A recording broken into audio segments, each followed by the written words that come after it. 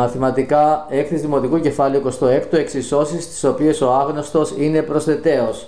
Βιβλίο μαθητή. Έχουμε ξαναμιλήσει σε παλαιότερα βίντεο για τις εξισώσεις και πώς λύνουμε τις εξισώσεις όταν ο άγνωστος είναι προσθεταίος, όταν είναι αφαιρεταίος κτλ. Τα σχετικά βίντεο στο πρώτο σχόλιο. Σε αυτό το μάθημα θα δούμε το βιβλίο του μαθητή. Μαθαίνω να ισορροπώ, σχηματίζω την εξίσωση ενός προβλήματος. Θα μας δίνουν ένα πρόβλημα και εμείς θα πρέπει να φτιάξουμε την εξίσωση και να τη λύσουμε. Λύνω μια εξίσωση με δοκιμές και έλεγχο. Αφού λοιπόν τη λύσω θα κοιτάξω με δοκιμή αν είναι σωστή. Λύνω μια εξίσωση χρησιμοποιώντας την αφαίρεση ως αντίστροφη πράξη της πρόσθεσης. Έτσι λύνονται εξισώσεις όπου ο άγνωστος είναι προσθεταίος με την αφαίρεση κάνοντας αφαίρεση. Θα τα δούμε αναλυτικά στο μάθημα.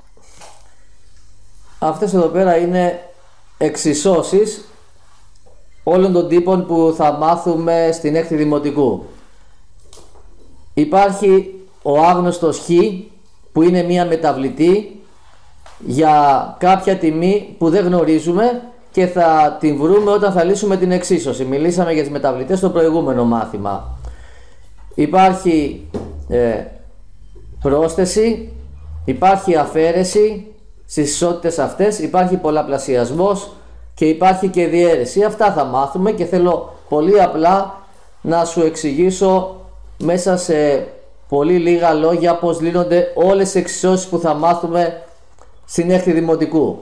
Όλες λύνονται με την αντίστροφη πράξη κάνουμε την αντίστροφη πράξη. Αν έχει δηλαδή πρόσθεση, κάνουμε αφαίρεση. Αν έχει αφαίρεση, κάνουμε πρόσθεση. Αν έχει πολλαπλασιασμό, κάνουμε διαίρεση. Αν έχει διαίρεση, κάνουμε πολλαπλασιασμό. Πάντα την αντίστροφη πράξη. Εκτός από τις εξισώσεις όπου ο άγνωστος χ είναι δεύτερος στην αφαίρεση και στη διαίρεση. Δεν είναι μπροστά, είναι δεύτερος. Δηλαδή στην αφαίρεση είναι αφαιρεταίος και στην διαίρεση είναι διαιρέτης. Τότε κάνουμε την ίδια πράξη και όχι την αντίστροφη. Για να τις λύσουμε λοιπόν γρήγορα αυτές τις εξισώσεις. Χ συν 3 ίσον 15.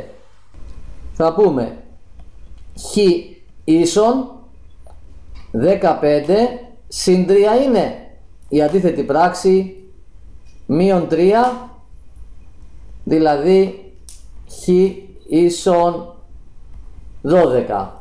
12 και 3 όντως μας κάνει 15 αν κάνουμε τη δοκιμή. 13 συν χ. Εδώ είναι δεύτερος προσθετέος στο χ αλλά δεν μας πειράζει στην πρόσθεση.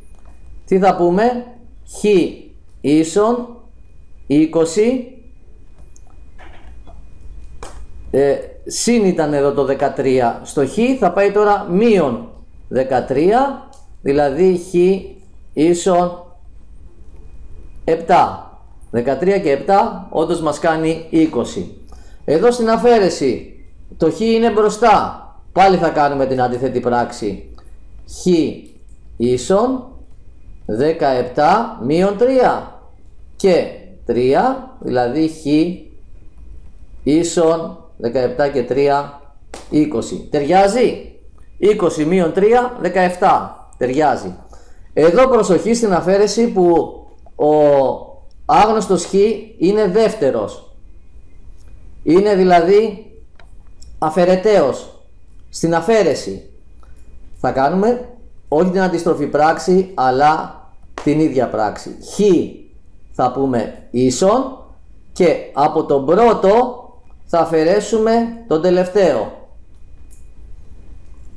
10 4 μείον 6 χ. Ίσον 14 μείον 6 8 για να δούμε ταιριάζει. 14 βγάζω 8 μας κάνει 6 σωστά λοιπόν λυθήκανε. Παντού κάναμε την αντίθετη πράξη εκτός από την αφαίρεση όπου ο άγνωστος χ είναι δεύτερος. Χ επί 4 ίσον 8 χ λοιπόν ίσον 8 επί 4 διά 4 θα πούμε δηλαδή χ ίσον 2. Χ επί 2, 2 μάλλον επί 4 μας κάνει 8. Σωστά. 3 επί 9, πάλι την αντίθετη πράξη. Χ ίσον 9. Ξεκινάμε από τον αριθμό που είναι εδώ πέρα στο ίσον, όχι από τον πρώτον. 9 δια 3. Χ ίσον 9 δια 3, 3. Για να δούμε 3 επί 3 9. Ταιριάζει. Το λύσαμε σωστά. Χ δια 6 ίσον 18. Το χ είναι πρώτο εδώ στη διαίρεση, οπότε κάνουμε την αντίθετη πράξη πάλι. Χ ίσον 18 επί 6 18 επί 6 ίσον 108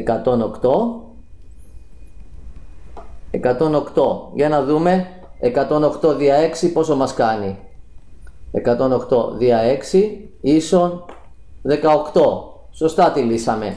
Και πάλι προσοχή στη διαίρεση όταν ο άγνωστος χ είναι δεύτερος. Δηλαδή διαιρέτης. Τότε κάνουμε την ίδια πράξη και διαιρούμε πάλι τον πρώτο με τον τελευταίο και στην αφαίρεση αφαιρούμε από τον πρώτο τον τελευταίο. Χ λοιπόν ίσον 10 δια 5 ίσον 2. Για να το δούμε 10 δια 2 ίσον 5.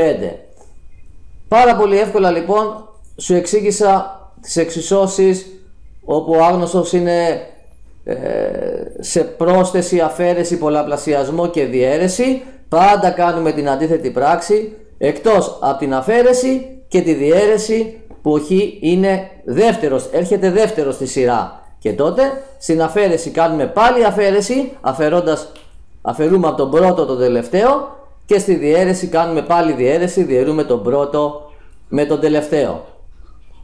Στα λέω έτσι για να μην σε μπερδέψω με διαιρεταίο, διαιρέτη και πηλίκο κτλ.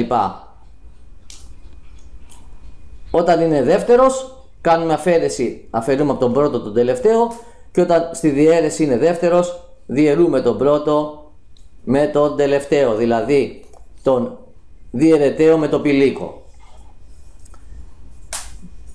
Αυτά εν συντομία για, όλες τις, για όλα τα κεφάλαια.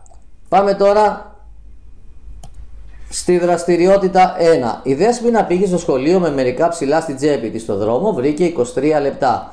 Όταν έφτασε στο σχολείο και μέτρησε τα λεφτά της, είδε ότι είχε 1 και 13 ευρώ. Πόσα χρήματα είχε άραγε όταν έφυγε από το σπίτι, χρησιμοποίησε μια μεταβλητή για να συμβολήσει το ποσό που μας βοηθάει να βρούμε. Ας χρησιμοποιήσουμε για το άγνωστο ποσό τη μεταβλητή χ, όπου χ είναι τα λεφτά τα οποία είχε στην τσέπη της όταν ξεκίνησε για να πάει στο σχολείο. Με τη βοήθεια της μεταβλητής που επέλεξες και τα ποσά που ήδη γνωρίζεις να εκφράσεις με μια ισότητα την κατάσταση που περιγράφει το πρόβλημα. Είχε χ ευρώ και βρήκε 0,23 ευρώ, τώρα έχει 1 και 13 ευρώ. Γράψε την ισότητα. Χ συν 0,23 ίσον 1,13. Οι φίλοι της Δέσποινας διαφωνούν για τα λεφτά που είχε στην τσέπη της. Ο Αντρέας λέει ότι ήταν 80 ε, λεπτά, η Ειρήνη 85, ο Χρήστος 90 και η Πόπη 95 λεπτά. Ποιος έχει δίκιο και γιατί; Για να δούμε πώς θα το βρούμε. Σκεπτόμαστε και λέμε έχει 1,13 ευρώ αυτή τη στιγμή. Εάν από αυτά τα λεφτά βγάλει τα 0,23 που είχε βρει στο δρόμο δεν θα τις μείνουν τα λεφτά που είχε στην τσέπη της όταν ξεκίνησε. Πόσα; 0,9. Άρα λοιπόν ο Χρήστος που είπε ότι είχε 90 λεπτά έχει το δίκιο. Ο Χρήστος έχει δίκιο λοιπόν γιατί 1,13 βγάζω 0,23 ίσον 0,90. Από αυτά που έχει τώρα στην τσέπη της, άμα βγάλει αυτά που βρήκε στο δρόμο, θα μείνουν αυτά με τα οποία ξεκίνησε. Βλέπουμε λοιπόν ότι την εξίσωση αυτή ε, χ συν 0,23 ίσον 1,13 τη λύνουμε κάνοντας την αντίστροφη πράξη. Χ ίσον 1,13 συν 0,23 θα πούμε τώρα μείον 0,23 ίσον 0,90 Κάνοντας λοιπόν την αντίθετη πράξη βρίσκουμε τη λύση της εξίσωσης όπου ο άγνωστος είναι προσθεταίος. Δραστηριότητα δεύτερη. Η Μαρία αγόρασε στις διακοπές ένα καλοκαιρινό μπλουζάκι που κόστιζε 12 και 50 ευρώ και ζήτησε από το κατάστημα να προσθέσουν επάνω μια σιδερότυπη στάμπα, στάμπα με το όνομά της. Στο τέλος πλήρωσε 18 και 40 ευρώ. Πόσο στοιχίζει η στάμπα, χρησιμοποίησε μια μεταβλητή για να συμβολήσει το ποσό που μας ζητάει να βρούμε και σχημάτισε την ισότητα με τα στοιχεία του προβλήματος.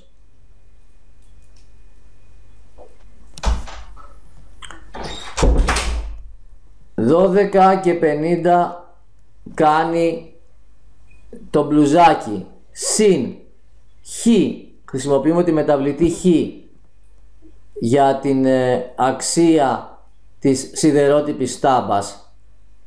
Ίσον πόσο πληρώνει τώρα; 18 και 40 βλέπουμε πάλι εδώ πέρα ότι ο άγνωστος είναι στην εξίσωση προσθετέως και αυτή τη φορά δεν είναι πρώτος αλλά είναι δεύτερος. Και σε αυτή την περίπτωση είπαμε ότι κάνουμε την αντίθετη πράξη. Δηλαδή θα το βρούμε χ ίσον 18 και 40 μείον 12 και 50 χ ίσον 18 και 40 18 και 40 μείον 12 και 50 ίσον 5 και 90. Είτε λοιπόν είναι πρώτος στη σειρά είτε δεύτερος σε προσθετέως ο άγνωστος χ κάνουμε πάντα την, ε, την αντίστροφη πράξη. Για να δούμε αν ταιριάζει τώρα. 12 και 50 συν 5 και 90 12 και 50 συν 5 και 90 που βρήκαμε ότι κάνει η σιδερότυπη στάμπα ίσον 18 και 40.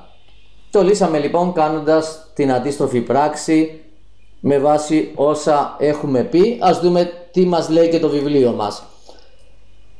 Αν η Μαρία μετανιώσει για τη στάμπα που πρόσθεσε στο μπλουζάκι της μπορεί να αναιρέσει αυτή τη διαδικασία; Ναι, μπορεί να την αναιρέσει, να πει δεν θέλω την ε, σιδερότυπη στάμπα. Οι ενέργειες που αναιρούν η μία την άλλη λέγονται αντίστροφες. Γράψτε τα, τις αντίστροφες στις πιο, κάτω, στις πιο κάτω ενέργειες. Ανεβαίνω και προσθέτω. Ανεβαίνω κατεβαίνω είναι η αντίστροφη ενέργεια. Προσθέτω αφαιρώ. Στα μαθηματικά αναιρείται η πρόσθεση. Ναι. Αν ναι με ποιο τρόπο; Με αφαίρεση με βάση τις αντίστροφες πράξεις γράψει τις αφαιρέσεις που προκύπτουν, που προκύπτουν από μία πρόσθεση. Για παράδειγμα, 5 συν 3 ίσον 8. Τι καταλαβαίνουμε λοιπόν; Αν εδώ πέρα στο 5 δεν γνωρίζαμε το 5 και ήταν ο άγνωστος χ μπροστά ε, θα κάναμε την αντίστροφη πράξη, το 5 θα το βρίσκαμε με το 8 βγάζω 3, αν δεν γνωρίζαμε το 3 και πάλι θα το βρίσκαμε και ήταν δεύτερος ο προσθετέος, πάλι θα τον βρίσκαμε με το 8 βγάζω 5. Άρα λοιπόν είτε πρώτος προσθετέος είτε δεύτερος προσθετέος είναι ο άγνωστος χ τον βρίσκουμε κάνοντας την αντίστροφη πράξη. Και συγκεκριμένα 8 βγάζω 3 κάνει 5 και 8 βγάζω 5 κάνει 3. Εφαρμόζοντας τις αντίστοιχες, τις αντίστροφες πράξεις, τι θα κάνεις για να βρεις τον άγνωστο προσθεταίο στην ισότητα που έγραψες για το πρόβλημα; Εδώ πέρα λοιπόν, τι θα κάνεις, θα κάνουμε την αντίθετη πράξη και θα πούμε ε, χ ίσον 18 και 40 μείον 12 και 50 δηλαδή χ ίσον 5 και 90. Μας το εξήγησε πιο αναλυτικά το βιβλίο, εμείς το είπαμε κατευθείαν ότι κάνουμε την αντίστροφη πράξη. Χ ίσον 18 και 40 μείον 12 και 50 είτε ο άγνωστος χ είναι πρώτος προσθετέος πάει μπροστά είτε είναι δεύτερος προσθετέος ε, βρίσκεται στο τέλος, το είχαμε πει και στην αρχή ότι στην πρόσθεση κάνω πάντα την αντίστροφη πράξη. Στο επόμενο κεφάλαιο θα δούμε ότι στην αφαίρεση κάνω την αντίστροφη πράξη όταν ε, ο χ είναι μπροστά. Δηλαδή είναι μειωτέος ενώ όταν είναι πίσω δηλαδή είναι ε, αφαιρεταίος κάνω την ίδια πράξη και από το πρώτο αφαιρώ το τελευταίο. Τα είπαμε όλα αυτά στην αρχή από τα προηγούμενα διαπιστώνουμε ότι ένα πρόβλημα μπορεί να εκφραστεί συμβολικά με μία ισότητα βάζοντας στη θέση του αγνώστου ποσού μία μεταβλητή. Δεν το γνωρίζουμε λοιπόν, βάζουμε μία μεταβλητή, συνήθως την μεταβλητή το γράμμα χ, λύνουμε την εξίσωση και βρίσκουμε το άγνωστο ποσό. Εξίσωση. Μια ισότητα που περιέχει μια μεταβλητή λέγεται εξίσωση με έναν άγνωστο. Στην έκτη δημοτικού θα λύσουμε εξισώσεις με έναν μόνο άγνωστο.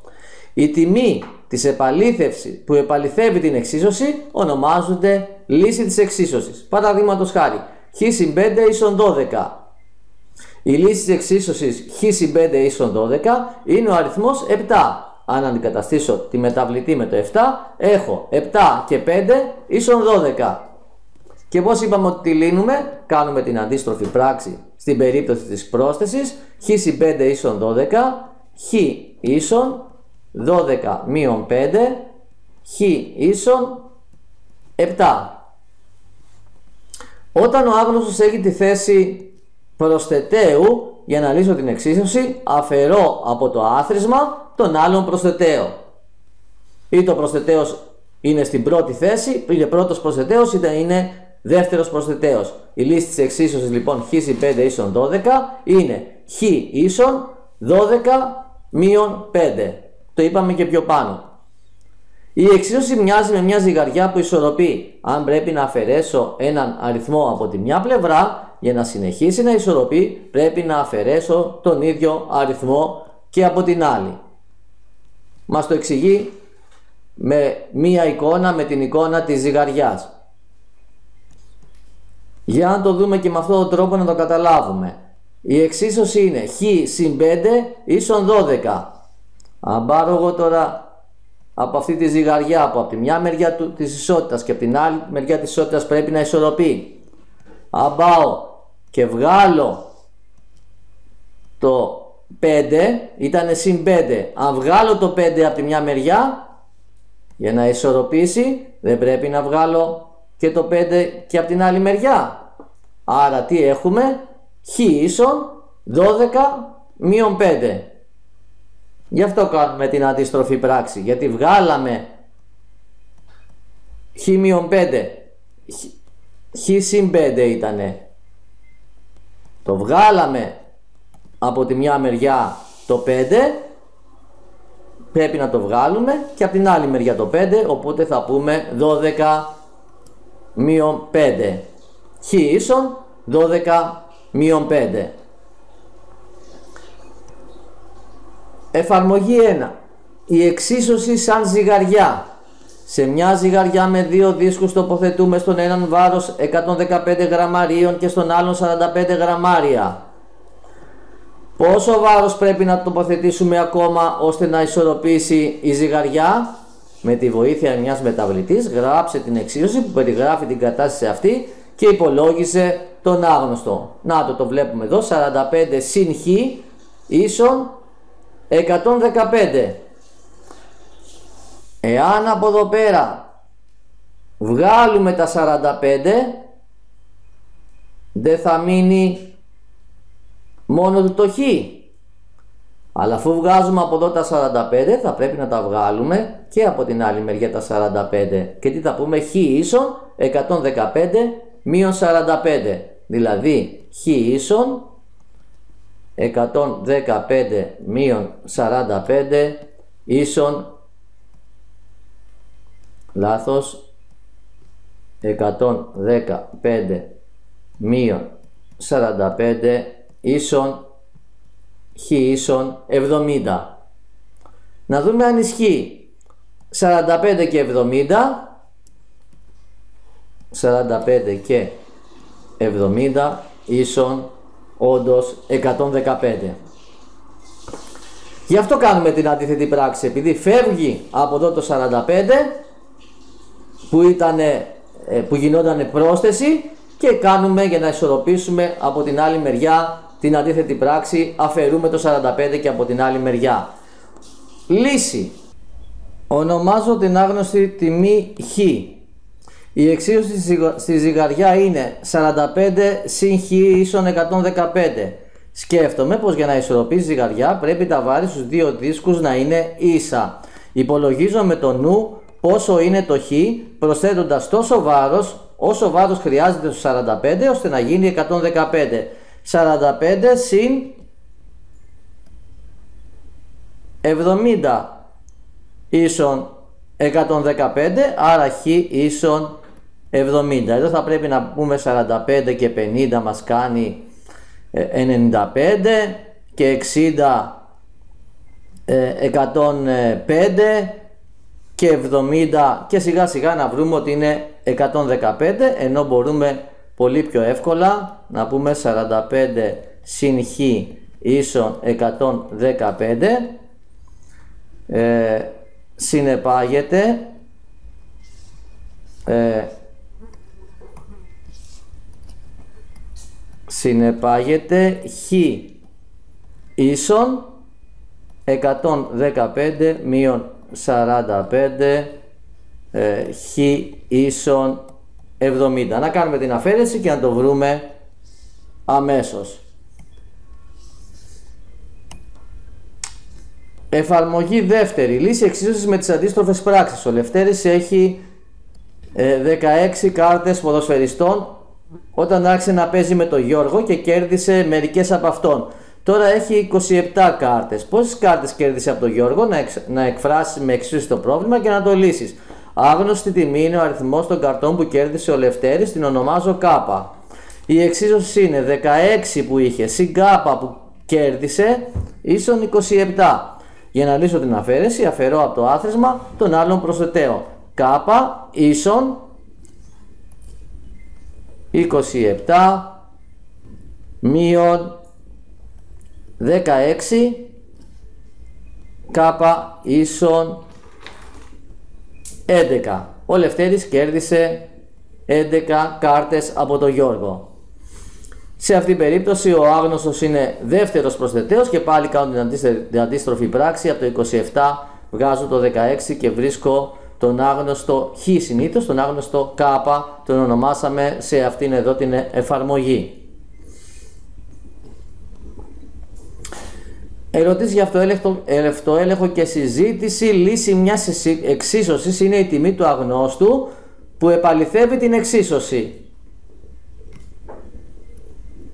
Σωστό. Η λύση της εξίσωσης 15 συν α ίσον 15 είναι το 1 λάθος πρέπει να κάνουμε την αντίθετη πράξη και να πούμε ε, α ίσον 15 μείον 15 α ίσον 0 15 συν 0 ίσον 15 σε αυτή την περίπτωση είναι σωστή. Σε μια εξίσωση πρόσθεσης κάνεις αφαίρεση για αντιλήσεις. Σωστό. Κάνεις πάντα την αντίθετη πράξη είτε ο άγνωστος χ είναι πρώτος προσθετέος είτε είναι δεύτερος προσθετέος πάντα αφαιρείς από το άθροισμα τον γνωστό προσθετέο.